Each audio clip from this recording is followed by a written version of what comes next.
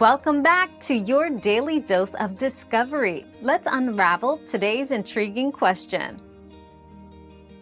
Princess and Princess Plus are terms commonly associated with tiered service or package offerings, where Princess Plus typically represents an upgraded or more inclusive option. The primary difference usually lies in added benefits, such as enhanced dining options, better room locations, or additional amenities and services included in the Princess Plus package, making it a more premium choice compared with the basic Princess package. This upgrade often aims to provide a more luxurious or hassle-free experience.